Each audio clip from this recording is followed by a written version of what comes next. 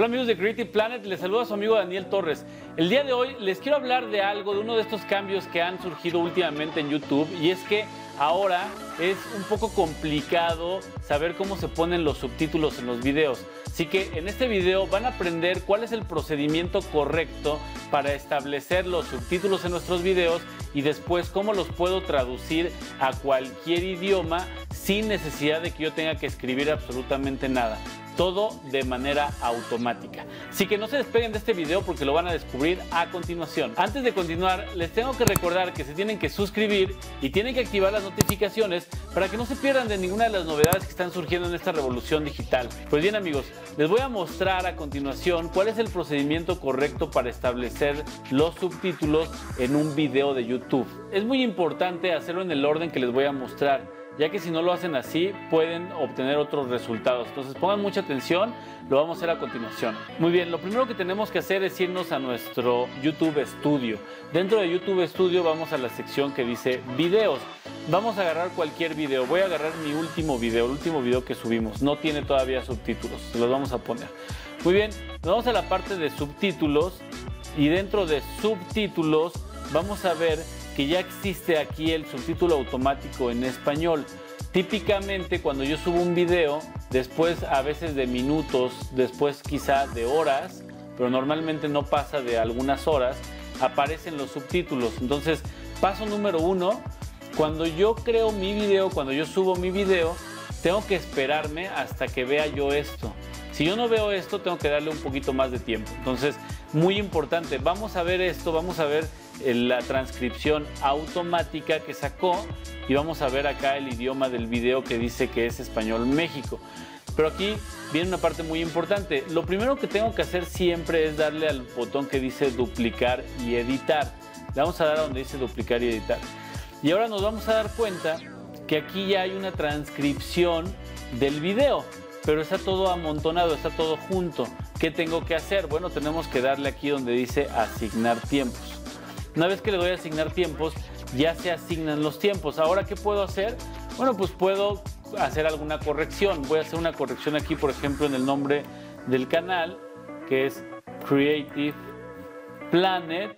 Y aquí le vamos a poner, le saluda su amigo Daniel Torres. Y bueno, ya podría yo darle una pulida ahí al texto. La verdad es que queda bastante bien.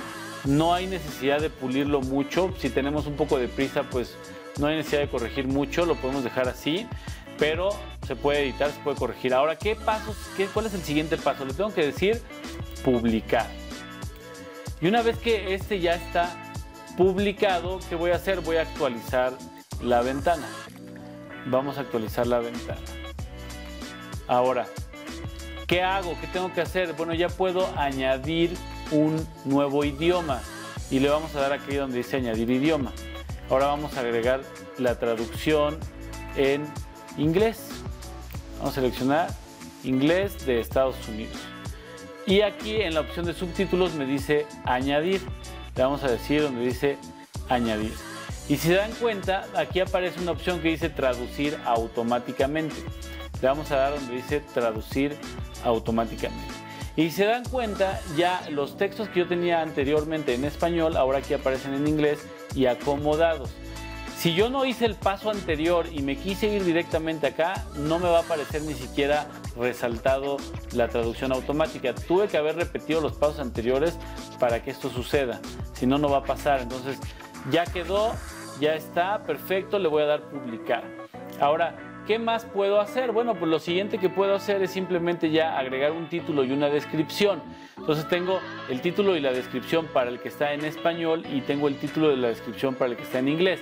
Simplemente lo abro, aquí aparece esto. ¿Qué puedo hacer? Bueno, me puedo ir rápidamente al traductor de Google y tal cual agarro esto, lo copio, me voy al traductor de Google, le digo en inglés, perdón, le digo que está en español y que lo va a traducir en inglés. Puedo agarrar simplemente y pegarlo acá. Eh, a veces se equivoco un poquito en la traducción, pues eh, lo puedo, lo puedo corregir, eh, pero si no tal cual lo puedo dejar así. Hago lo mismo con toda la demás descripción. Puedo hacer exactamente lo mismo.